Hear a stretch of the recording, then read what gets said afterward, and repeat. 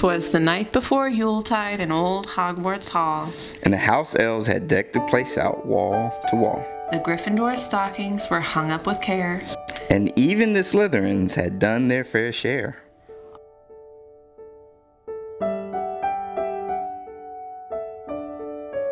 All Hufflepuffs nestled all snug in their beds. While visions of charm work filled Ravenclaw's heads. And nearby the No-Maj and Muggles all slept. The statute of secrecy, so far well kept.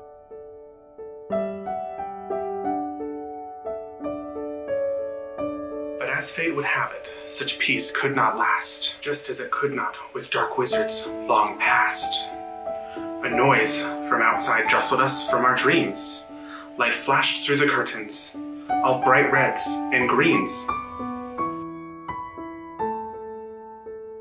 Away to the windows, together we dashed. And round us, the castle awoke in a flash. Then what to our wandering eyes did appear? But a host of strange beasts, roped together like steer.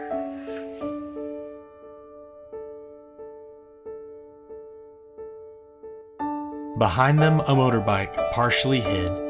I knew in a moment it must be Hagrid. More rapid than Zouwu, his coursers they came, and he whistled and shouted and called them by name.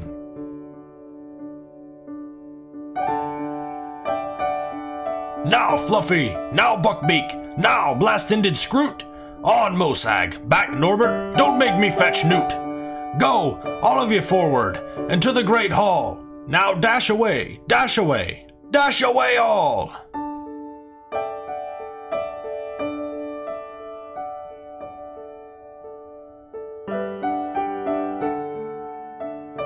As leaves take to air with Bombarda's loud blast, or the spell with a swish and a flick is well cast, so up the astronomy tower they flew, with a sidecar of toys coming fully in view.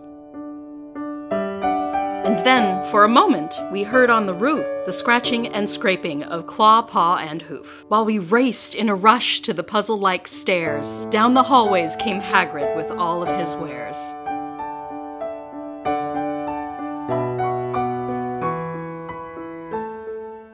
He was dressed all in fur from his head to his foot. and his long coat was tarnished with ashes and soot, A bundle of gifts he had flung on his back. which he wielded with ease, never needing to slack. His eyes, how they twinkled. His dimples, how merry. His coat lapel gleamed with a decorative fairy, A poffle of puffskin, all swayed to and fro. when he shook himself briefly to brush off the snow. He ushered us in with a broad handed wave, and the first to step forward was surely most brave, because any foul beast could be Hagrid's best friend. But that was just part of his charm in the end. He was larger than life with his bright pink umbrella, and his laughter was catchy, the right jolly fella. A wink of his eye and a tug of his beard soon set to rest all I had hastily feared. We went right to work and we each got our gift, and then as he left, we ran after him swift. He mentioned calamity when we did chat, then quickly amended, I shouldn't have said that.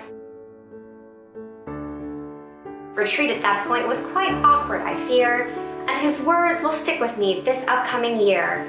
But I heard him shout back with a grin from his bike. Merry Christmas! Merry Christmas! Merry Christmas! Merry Christmas to all, and all wizards unite!